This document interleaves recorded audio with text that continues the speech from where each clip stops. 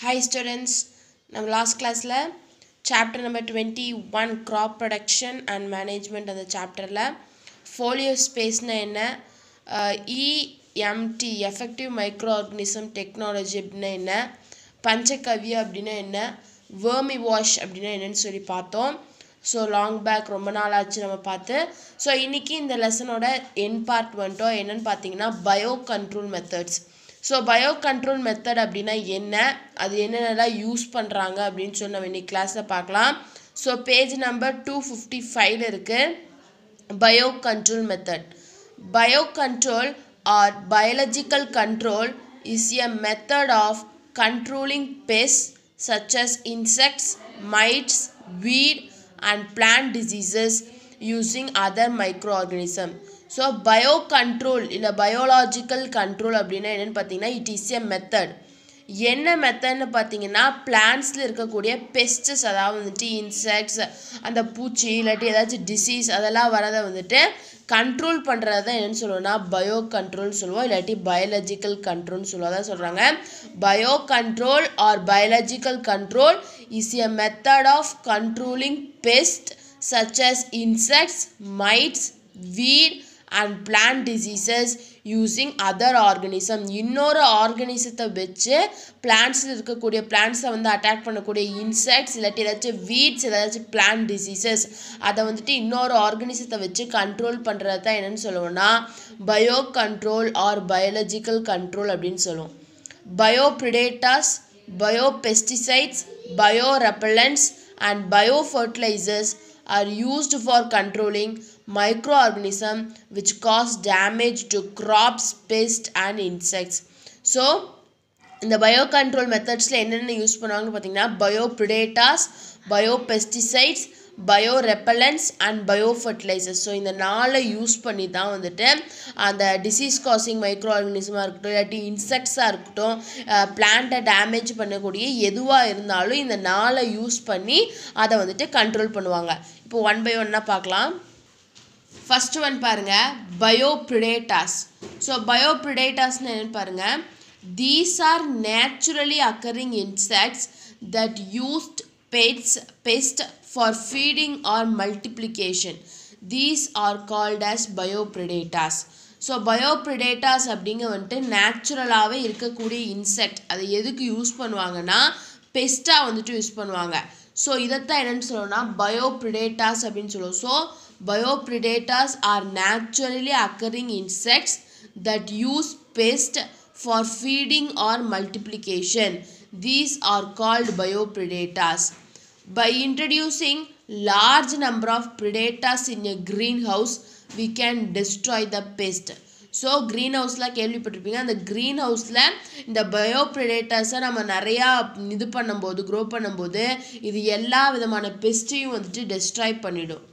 predators like Chrysopa species and Menochilus species are highly useful in controlling pest like aphids white flies cotton bollworms leaf insects extra so என்னென்ன predators என்னென்ன species ஸ்பீஷீஸ்னு பார்த்தீங்கன்னா கிறிசோப்பா ஸ்பீஷீஸும் மெனாச்சிலஸ் species அப்படிங்கிற அந்த ரெண்டு ஸ்பீஷீஸையும் தான் வந்துட்டு ரொம்ப எல்லோரும் காமனாக யூஸ் பண்ணுறாங்க ஸோ இதை இன்ட்ரடியூஸ் பண்ணுறது மூலயமா என்னென்ன பெஸ்ட்டு க கண்ட்ரோல் ஆகும்னு பார்த்தீங்கன்னா இந்த aphids white flies cotton bollworms leaf insects அதாவது வந்துட்டு லீஃபில் வந்துட்டு சின்ன சின்ன அதே க்ரீன் கலரில் ஒரு இன்செக்ட் இருக்கும். அதான் லீஃப் இன்செக்ட்னு சொல்லுவாங்க.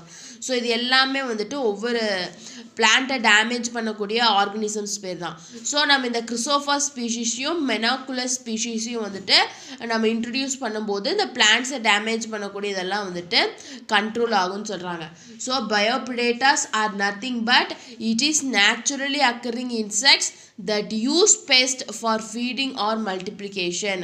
So by introducing large number of predators in a greenhouse, we can destroy the pest.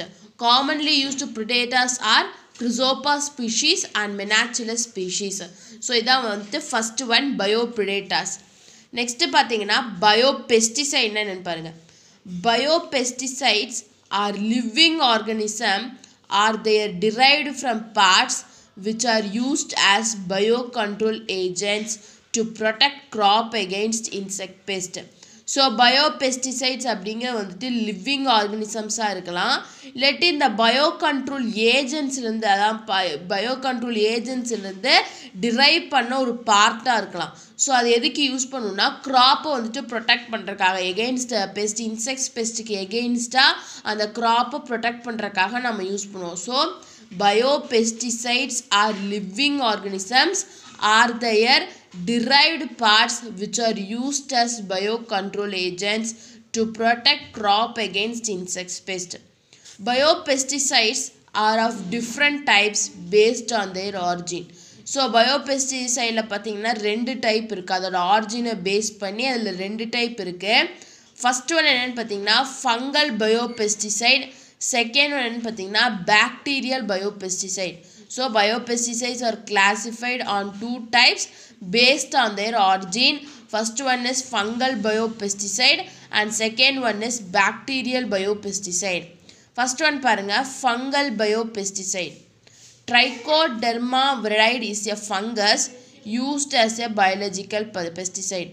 So Trichoderma viride அப்படிங்கிறது வந்துட்டு ஒரு ஃபங்கை ஸ்பீஷீஸ் அதை என்னவா யூஸ் பண்ணுவோம் அப்படின்னா பயாலஜிக்கல் பெஸ்டிசைடை நம்ம யூஸ் பண்ணுறோம் it is useful to control various diseases caused by fungi such as wilt, rusting of leaves and root diseases so இதை நம்ம யூஸ் பண்ணுறோம் இந்த பயாலஜிக்கல் பெஸ்டிசைட்ஸ் அதாவது ட்ரைகோடெர்மாவிடைட் அப்படிங்கிற அந்த ஃபங்கஸை யூஸ் பண்ணுறது மூலயமா நம்ம எது எதெல்லாம் கண்ட்ரோல் பண்ணணும்னு பா பார்த்தீங்கன்னா wilt rusting leaf rusting and root disease so இது எல்லாமே பிளான்ஸில் இருக்கக்கூடிய டிசீஸ் தான்.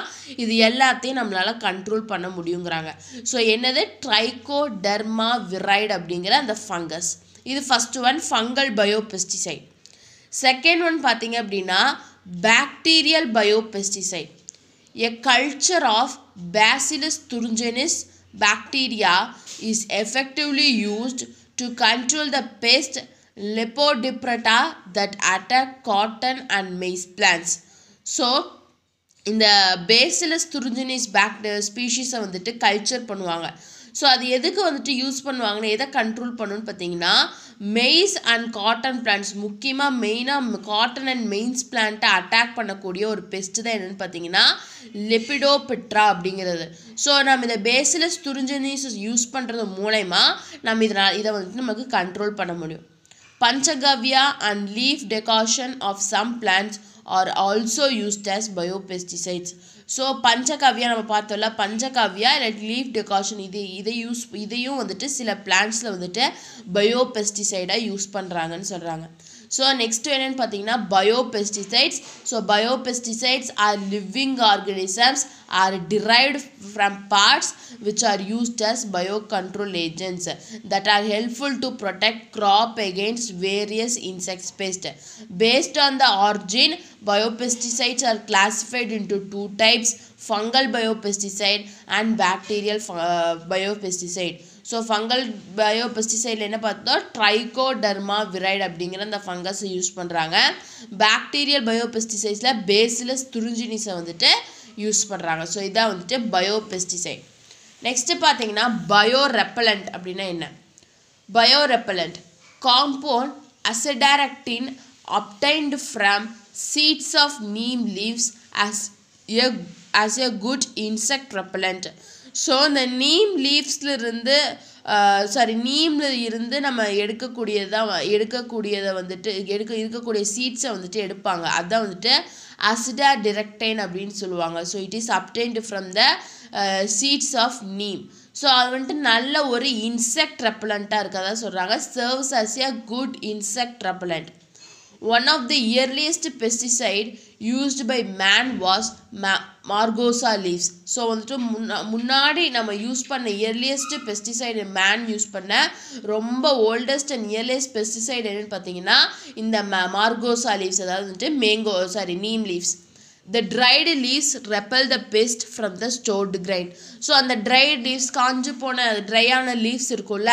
ஸோ அது என்ன பண்ணுன்னா கிரெயின்ஸை ஸ்டோர் பண்ணி வச்சுருப்பாங்க ஸோ அங்கே வந்துட்டு எந்த விதமான பெஸ்ட் அட்டாக்கும் இல்லாமல் பார்த்துக்கும் அப்படிங்கிறாங்க so biorepellent compound azadirachtin obtained from the seeds of neem leaves serves as a good insect repellent. It was the one of the most earliest and oldest pesticides used by man. Uh, used by man. The dried leaves repel the pest from the stored grains. So last one என்னென்னு பார்த்தீங்கன்னா bio fertiliser so எல்லாருமே காமனாக கேள்விப்பட்டிருப்பீங்க bio fertiliser அப்படின்னு. Bio fertilizers are organisms which can bring about the soil nutrient enrichment. So bio fertilizers அப்படிங்கிறது வந்துட்டு ஒரு organism தான்.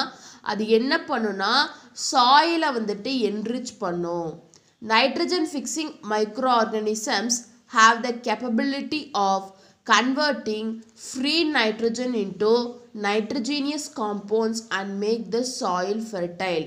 So இந்த நைட்ரஜன் ஃபிக்ஸிங் மைக்ரோ ஆர்கானிசம்ஸ்க்கு என்ன ஒரு கெப்பாசிட்டி இருக்குன்னு பார்த்தீங்கன்னா ஃப்ரீ நைட்ரஜனை வந்துட்டு நைட்ரஜீனியஸ் காம்பவுண்டாக கன்வெர்ட் பண்ணி சாயிலை ஃபர்டைல் பண்ணக்கூடிய கெப்பாசிட்டி யார்கிட்ட இருக்குன்னு பார்த்தீங்கன்னா இந்த நைட்ரஜன் ஃபிக்ஸிங் மைக்ரோ ஆர்கானிசம்ஸ் கிட்டே இருக்குது the main source of bio of is cyanobacteria and certain fungi so bio ஃபெர்டிலைசர்ஸ்க்கு main source என்னன்னு பார்த்தீங்கன்னா சைனோபாக்டீரியாவும் சர்டைன் ஃபங்கையும் தான். Free living cyanobacterium involves in nitrogen fixation along with photosynthesis so free living cyanobacterium வந்துட்டு nitrogen fixation ப்ராசஸில் involve ஆயிருக்கு. ஃபோட்டோசிந்தசிஸ்லேயே அது இன்வால்வ் ஆயிருக்கு. Along with that it involves in nitrogen fixation also example Anabaena Nostoc symbiotic bacteria also fix nitrogen atmospheric nitrogen so இந்த anabaena Nasdaq இந்த ரெண்டு symbiotic bacteria இதுவும் வந்துட்டு அட்மாஸ்பியரிக் நைட்ரஜனோட ஃபிக்சேஷனில் வந்துட்டு இன்வால்வ் ஆகுது example rhizobium although chemical fertilizers increase food production they degrade the natural habitat so என்னதான் எல்லா ஃபெர்டிலைசரும் வந்துட்டு ஃபுட் ப்ரொடக்ஷன் இன்க்ரீஸ் பண்ணாலும் நேச்சுரல் ஹேபிட்டேட்டை அது வந்துட்டு டீக்ரேட் பண்ணிடும் அப்படின்னு சொல்கிறாங்க ஸோ இதான் வந்துட்டு bio fertilizer so bio fertilizer is nothing but it is an organism which bring about the soil nutrient enrichment so biological bio control மெத்தட்ஸ்னு பார்க்கும்போது ஃபஸ்ட்டு பயோ ப்ரிடேட்டர்ஸ்னு என்னென்னு பார்த்தோம். பயோ பெஸ்டிசைட்ஸ்னு என்னென்னு பார்த்தோம். பயோ ரெப்பலண்ட்னா என்ன? பயோ ஃபெர்டிலைசர் பயோ ஃபெர்டிலைசர் அப்படின்னா என்னன்னு சொல்லி பார்த்தோம். ஸோ இதோட இந்த சாப்டர் வந்துட்டு முடியுது. ஸோ லாஸ்ட்டாக வந்துட்டு பாயிண்ட்ஸ் டு ரிமெம்பர் இருக்கு. அது ஜஸ்ட் ஒரு தடவை ரீட் பண்ணி பார்த்துருங்க. ஸோ இந்த சாப்டரில் நம்ம வந்துட்டு ஒரு க்ராப்பை க்ரோ பண்ணும்போது அதில் என்னென்ன ஸ்டேஜஸ் இருக்குது சீட் பால்னால் என்ன? அக்ரிகல்ச்சரல் இன்ஸ்டிடியூஷன்ஸில் அப்படின்னா என்ன? போலியோ ஸ்ப்ரேஸ்னா என்ன? லாஸ்ட்டாக வந்துட்டு பயோ கண்ட்ரோல் மெத்தட்ஸ்னு என்ன சொல்லிட்டு வேரியஸ் ஆக்ஸ்பேஸ் அக்ரிகல்ச்சரை பற்றி நிறையா தெரிஞ்சிட்டோம். ஸோ நாம் இந்த சாப்டர் இதோட முடியுது. ஸோ நம்ம நெக்ஸ்ட் கிளாஸில் ஒரு நியூ சாப்டர் ஸ்டார்ட் பண்ணலாம். இந்த சாப்டரில் என்ன டவுட் இருந்தாலும் கமெண்ட் பண்ணுங்கள் இந்த வீடியோ பிடிச்சிருந்தா லைக் பண்ணுங்கள் ஷேர் பண்ணுங்கள் சப்ஸ்கிரைப் பண்ணுங்கள் தேங்க்யூ